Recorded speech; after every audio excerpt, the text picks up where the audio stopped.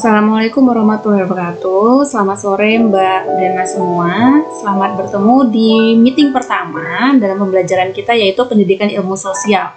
Nah selama beberapa minggu kita akan mempelajari pendidikan ilmu sosial secara daring karena saya masih cuti oke? Okay? Nah untuk uh, pembelajaran, laman pembelajaran itu sudah saya unggah di uh, laman ini. Jadi Mbak dan Mas bisa menuju link berikut untuk menuju ke pembelajaran kita. Oke, okay? kita langsung saja untuk memulainya. Kita klik untuk uh, pembelajaran kita ya, blognya atau linknya. Oke, okay, ini dia sudah menuju langsung ke halaman pembelajaran kita.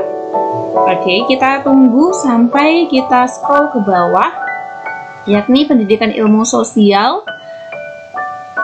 Oke, pendidikan ilmu sosial. Nah, ini silahkan diklik yang perangkat pembelajaran pendidikan ilmu sosial 2023. Oke.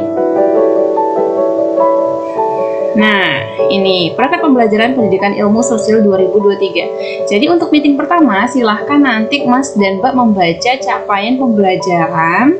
Oke, serta eh, apa-apa uh, saja sih yang harus diperhatikan dalam uh, penilaian kelas itu bisa dilihat pada video ini. Nah, pada video ini Mas dan Mbak harus menyeting HP-nya, jika melihat dengan HP, harus menyeting HP-nya uh, dengan view as desktop. Kalau tidak, tidak bisa. Oke. Okay? Lalu ini adalah meeting pertama kita pada tanggal 15 September 2023. Nah, meeting pertama kita fokusnya adalah perkenalan dan juga uh, perkenalan kelas, peraturan kelas, dan juga silabus. Ini tadi sudah untuk peraturan kelas kita. Oke, okay, bisa dicek sendiri ya pada video. Lalu untuk silabus pembelajaran ini silahkan diklik. Ini adalah materi yang kita bahas dalam satu semester. Oke, okay? jadi ini. Ini adalah silabusnya. Sebentar. Nah, ini adalah silabusnya. Oke. Okay.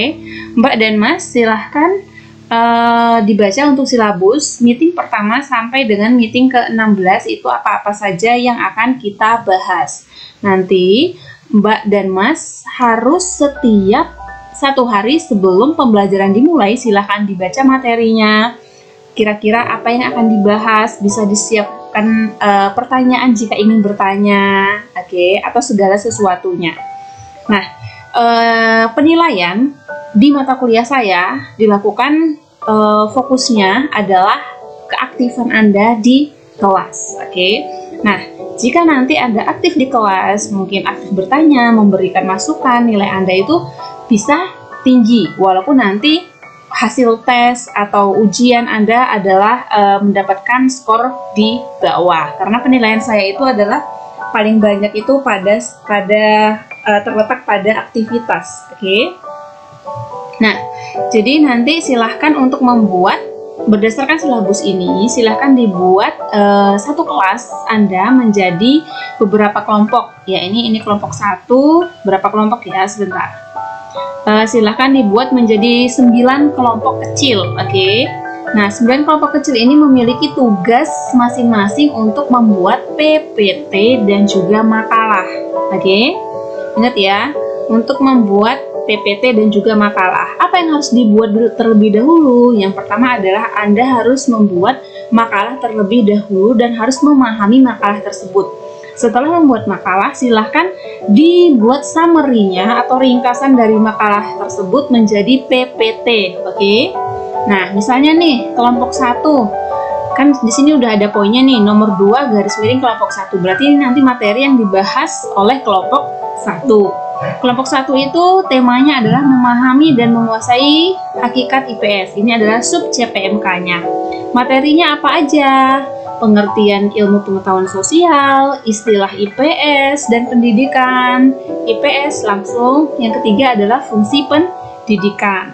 Dan detail pembelajaran atau yang dibuat di makalah itu apa aja sih Bu? Nah ini, ini tadi sub CPMK atau tema pembelajaran kita hari ini, ini materinya, dan ini adalah pembahasan yang harus ada pada makalah. Jadi untuk kelompok satu harus mampu memahami dan menjelaskan pengertian IPS. Silahkan Anda cari pengertian IPS itu apa dan menurut bahasa Anda itu bagaimana, menurut teori-teori itu IPS itu bagaimana. Oke. Okay? Yang kedua adalah mampu menjelaskan dan membedakan istilah IPS dan pendidikan. Silahkan dicari apa itu istilah IPS, apa itu pendidikan IPS. Karena IPS dengan pendidikan IPS itu berbeda. Dan contohnya bagaimana? Seperti itu. Oke, yang ketiga adalah mampu menyebutkan dan menjelaskan serta memberikan contoh fungsi pendidikan IPS di SD, SMP, dan SMA. Silahkan uh, disebutkan, dijelaskan, dan juga diberi contoh. IPS yang cocok untuk SD itu bagaimana, SMP bagaimana, SMA dan bagaimana, dan seterusnya. Begitu ya. Nah, untuk kelompok dua gimana nih, Miss? Nah, kan? Untuk kelompok dua itu ada di poin nomor tiga, yakni memahami pengertian manfaat dan implikasi hakikat IPS dalam bermasyarakat, berbangsa, dan juga bernegara. Berarti nanti materinya apa? Materinya adalah hakikat IPS dan implikasinya. Dan detail yang dibuat dalam uh, makalah dan juga PPT apa sih? Nah, ini ada 10 indikator ini. Yang pertama nanti kelompok 2 harus menjelaskan pengertian IPS dalam bermasyarakat, berbangsa, dan bernegara itu apa maksudnya, contohnya bagaimana. Lalu manfaat hakikat IPS itu bagaimana? Habis itu silahkan memberikan contoh dari hakikat IPS, lalu implikasinya bagaimana.